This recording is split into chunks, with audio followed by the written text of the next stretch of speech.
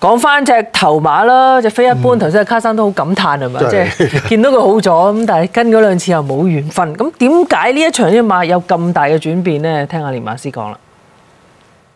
其實贏馬永遠都係開心或者滿足啦。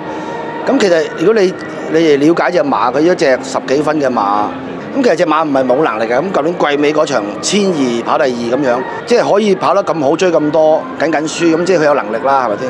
咁點解會咁難贏咧？其實只馬係性格問題咯，因為只馬好畏群嘅，佢好驚嘢嘅。咁其實咧，佢跑過今日一個 win，嗰一個第二。其實之前我已經知道噶啦，只馬係唔可以同啲馬馬群一齊去競跑嘅，佢會放棄嘅。咁今季嗰兩場，你見到千二千四嗰人都係噶啦。佢冇咗舊年季尾嗰一場可以轉彎入入直路拉出大外檔衝，佢當佢做唔到呢樣嘢嘅時候，佢就會放棄咯。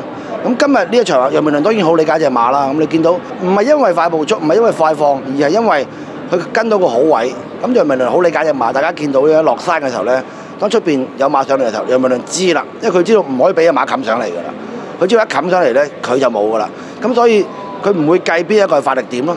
總之你上嚟嘅我就要走啦，佢唔可以俾人壓佢咯。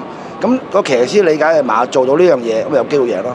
其實佢嘅種咧，如果大家留心睇下，佢係可以跑長啲嘅。咁其實舊年嘅季初，佢一六五零，佢喺呢度跑都唔係輸得太遠㗎啦。但係佢跑翻今季譬如有千二，佢可以輸得好遠嘅。呢個完全同佢能力無關，同性格有關係咯。咁啊戴咗呢個半掩防山眼罩，係咪幫到佢好大？誒呢個係冇辦法中嘅辦法。咁戴咗呢個配備之後咧，就令到佢咧睇出邊嘅嘢少咗，對佢刺激少咗。咁另外一個理由就係因為我又增翻程啦嘛，咁我亦都預計會擺佢喺前面走，不過唔想喺前面走得太行。咁所以個配備一定有啲幫助。佢係一隻咁後生嘅馬啦。咁我又睇下睇下其他場合先，因為其實沙田佢嗰場你可以當贏噶嘛，佢唔一定係適合呢個場地。我覺得路程啊同埋個跑法最重要咯。個路因為佢佢本來個嗰個質素唔係呢個分，只不過佢性格造成佢呢個分。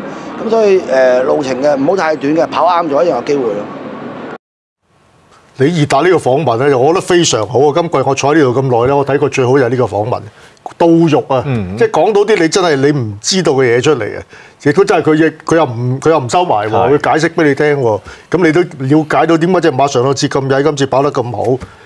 即係如果唔係你估咧，我諗你你普通外人你真係估唔到嘅。因為馬嗰個性格嗰個重點講到出嚟啦，佢畏群啊，咁同埋對上嗰次點解追到第二咧？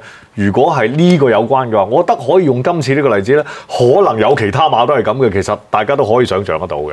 係啊，都要個騎師亦都真係了解隻馬，因為譬如如果頭先睇啊，你覺得哇隻飛一般轉彎嘅時候，好似特登飛到走出啲㗎假如翻嚟佢爭少少過唔到只哥寶，咁哇！